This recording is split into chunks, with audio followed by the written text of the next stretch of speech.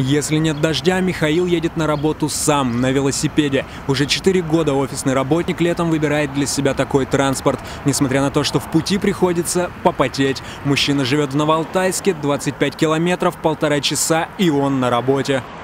В принципе, не сильно страшно, но есть несколько моментов на трассе, где есть, скажем так, э, ответвление для слива воды, и их приходится объезжать прямо близко к машинам. Вот там немножко волнительно, конечно. Главная опасность – это внезапно самому грохнуться на дорогу.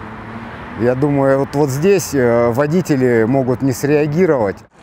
Кстати, сейчас Михаил еще и автоматический участник акции на работу на велосипеде. Она проходит по всей России. По ее условиям жителям стоит выбирать экологичный транспорт. В Барнауле от этой акции больше велосипедистов не стало. Те, кто и так предпочитал два колеса, продолжают это делать. А новички могут просто бояться наших дорог. Так Михаил попадал в ДТП. На него наехало такси, и тогда его спас шлем. По своему опыту мужчина уверен, меры безопасности нужно соблюдать. Особенно у нас, где нет велодорожек. Каждый день я добираюсь на работу на велосипеде и ехать приходится по дороге либо по тротуару. В первом случае можно попасть под машину, а во втором наехать на пешехода. В 2018-м в Барнауле говорили о создании велодорожек на трассе здоровья. Тогда мало кто понял, зачем выделять велополосу в лесу. Чуть позже велосипедистам города выделили место на аллее Исакова и в Изумрудном парке. А барнаульские архитекторы проектируют целую сеть велодорожек и надеются, что мы увидим их лет через пять.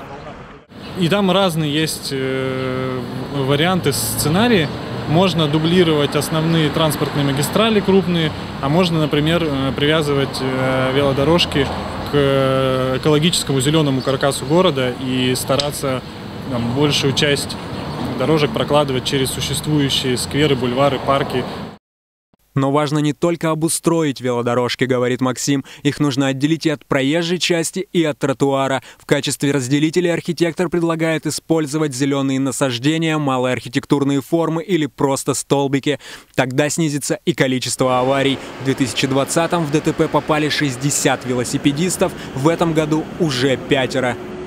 Двухколесный транспорт – это сезонный транспорт. Водители за зиму отвыкают от, от присутствия такого транспорта на проезжей части.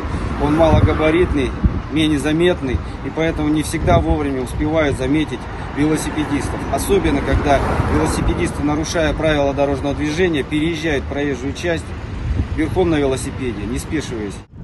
А еще обзору мешают припаркованные машины, из-за чего велосипедисты выезжают дальше разрешенной крайней правой полосы. И решить эту проблему можно только с помощью велодорожек, считают в ГИБДД. Так что будьте осторожны на двух колесах, а всероссийская акция на работу на велосипеде продлится пару недель. Артем Гусельников, Дмитрий Денисов, Андрей Печоркин. День с толком.